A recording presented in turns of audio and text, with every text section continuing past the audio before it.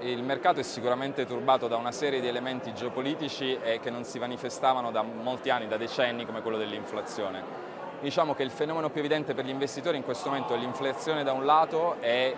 la guerra russa-ucraina. Eh, la guerra russa-ucraina ha avuto un, un, importante effetto sia a breve termine perché ha aumentato questo effetto di aumento dei prezzi, ha creato problemi sulle catene di distribuzione e, e, quindi ha creato tutta una serie di scompensi al mercato che hanno una durata non stimabile nel tempo, ma sicuramente l'elemento più importante è quello che è finito il dividendo di pace cui le, di cui le nazioni occidentali hanno usufruito sostanzialmente dalla fine della guerra fredda.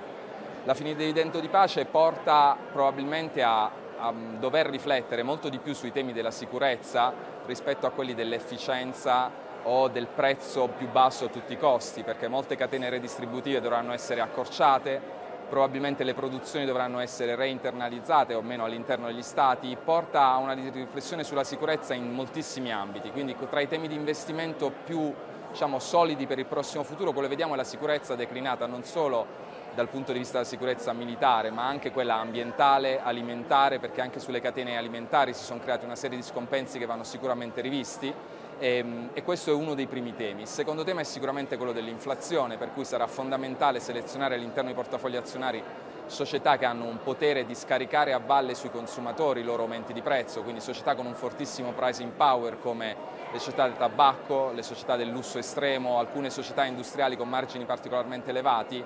e uno degli altri temi legati all'inflazione e al rialzo dei tassi di interesse è sicuramente la partecipazione ai portafogli dei titoli finanziari che sono assenti sostanzialmente dai portafogli degli investitori ormai dalla crisi del 2008 e poi con la crisi dell'area euro del 2011 e quindi questo è sicuramente un momento diverso per posizionarsi su questo,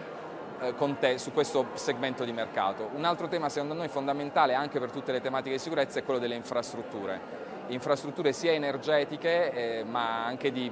porti e aeroporti, perché comunque la spina dorsale dell'economia che viene costituita dalle infrastrutture deve continuare a espandersi perché nonostante i fenomeni di breve termine che abbiamo vissuto di interruzioni delle catene o di spostamento delle persone, questi sono fenomeni inarrestabili. Cioè, il terzo filone interessante è sicuramente quello della rivoluzione che stiamo vivendo a livello tecnologico, in cui i tre segmenti che in inglese di solito chiamano ABC della tecnologia, cioè l'artificial intelligence, quindi l'intelligenza artificiale, i big data e la sicurezza cibernetica sono sicuramente tre dei sottosettori del, della tecnologia che hanno i più ampi tassi di crescita stimati per i cinque anni, quindi questi sarebbero tendenzialmente i nostri asset class preferiti per i prossimi mesi.